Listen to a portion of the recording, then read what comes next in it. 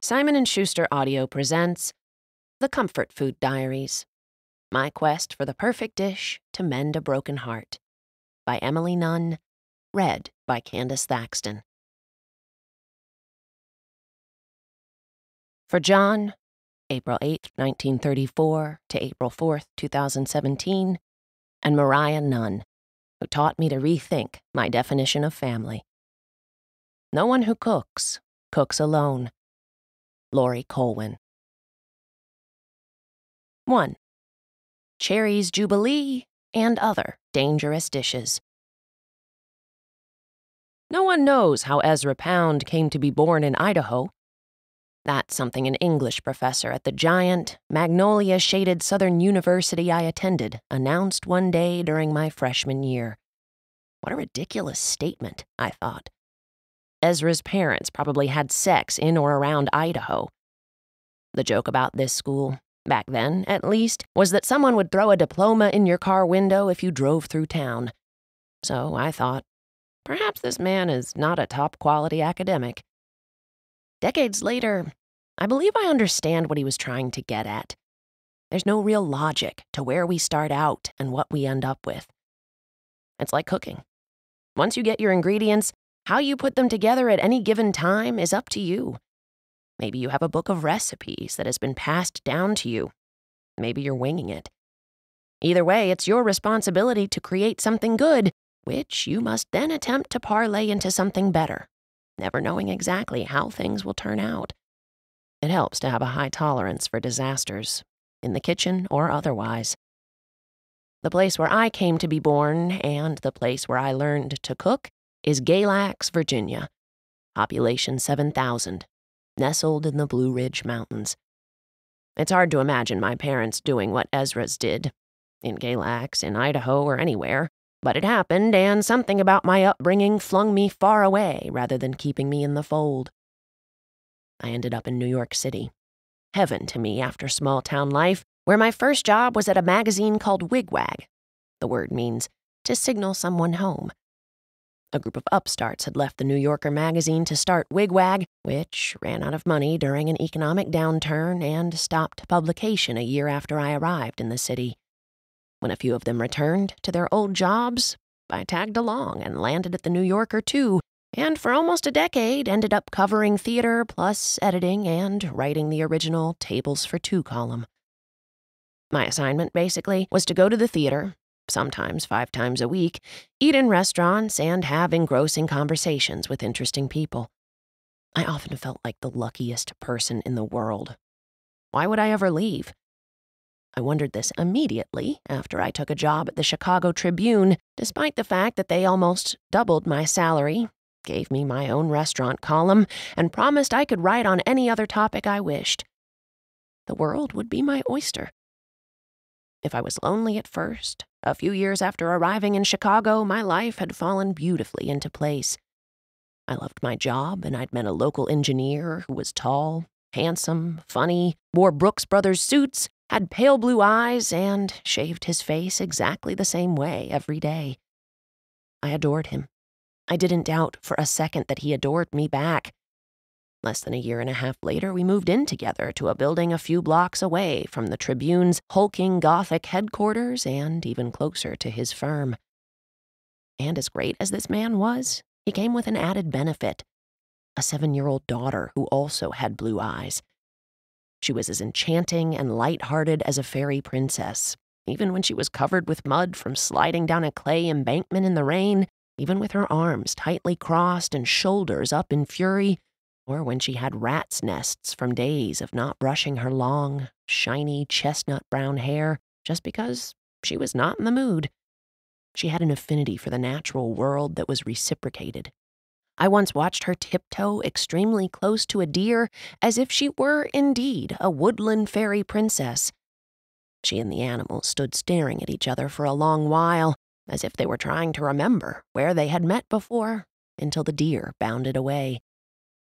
A few months after we met, the engineer told me I came first in his life.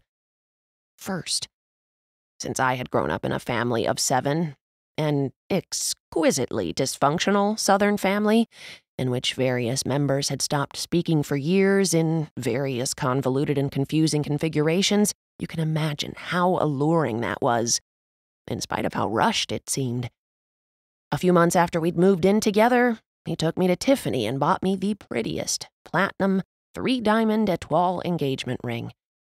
It didn't seem to matter much when the Tribune laid me off during the recession, along with a lot of other people who had high salaries and a Pulitzer or two.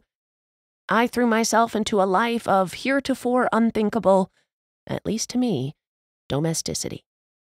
Back when we told the fairy princess's mother, the co parent, that we were setting up household together, she had immediately announced plans to take the fairy princess away with her to Paris, where she had gotten a job. When she finally did leave for Paris, though, she left her wonderful nine year old child in our care. The day the engineer and I moved in together was the exact day I became an almost full time step parent. Previously, when I had thought of the word family, I'd imagined cavemen sitting around a fire chewing on a bone, a human bone. I was afraid of what a family could do so I had naturally avoided creating one as an act of lonely self preservation, as well as a service to all humanity. But I found I absolutely loved it. Loved the natural flow of rituals that took over my life. At night, sitting down to a dinner I'd cooked for my little family, bedtime reading, Little House on the Prairie, walking the dog, cleaning up the kitchen, an hour of television with the engineer on the couch, turning off the glowing living room lamps, seeing the moon on Lake Michigan, the stars outside before sleep, feeling the dog jump onto the foot of the bed, then hearing the engineer snoring, taking his reading glasses off and putting them on the nightstand with the folded New Yorker he'd started reading regularly and I'd begun to ignore. I began to believe in the idea of family and thanking God for mine almost every single day.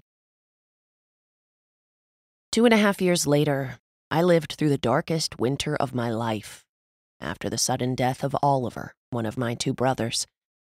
The new family and the life I had loved collapsed into a flat mess like a souffle after some unthinking person slams the oven door. I got the news that Oliver had killed himself.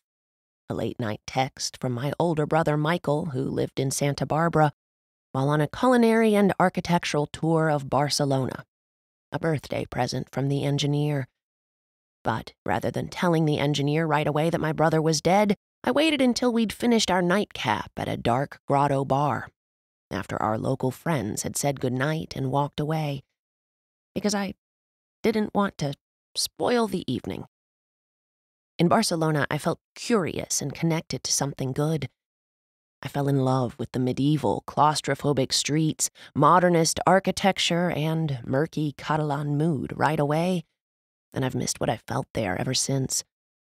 The wonder you feel in great foreign cities is easy to confuse with the wonder you feel when you first fall in love with a person you imagine to be great, who seems at the same time to be so strange and novel. I was hoping to feel that way about the engineer again. Don't come home early. You should finish your trip, my sister Elaine said when I finally reached her by phone the next day. There's nothing you can do. Well, there isn't now, I recall thinking. And so it came to pass that we were still in Barcelona two days after I'd heard the awful news. Glass of wine in hand, I was standing in line to eat at Cal Pep, the fabled tapas bar in the hipster Born district, right around the corner from the contrastingly steadfast 12th century church Santa Maria del Mar, as if nothing had happened at all. La di da. When the engineer came striding across the cobblestone plaza to meet me, he was wearing the blue and white striped scarf I'd tied around his neck that morning, along with the rumpled mackintosh I'd given him for his last birthday. He looked so handsome that I kicked up a leg to show off a new pair of shoes he'd bought for me earlier that day. New boots, I said, and then backward I fell, landing flat on my back like a floor lamp that had been pushed over. Lying there, wondering what had happened and if I'd cracked my head open, I saw the face of my dead brother Oliver. Super pale green eyes the color of beach glass, heavy lidded and half closed, blonde hair that he cut very short, ham steak cheeks and a semi permanent scowl, which would become a radiant smile, but only if you could make him laugh.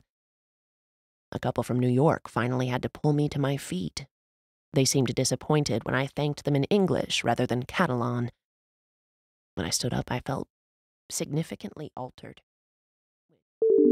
We hope you enjoyed this preview. To continue listening to this audiobook on Google Play Books, use the link in the video description.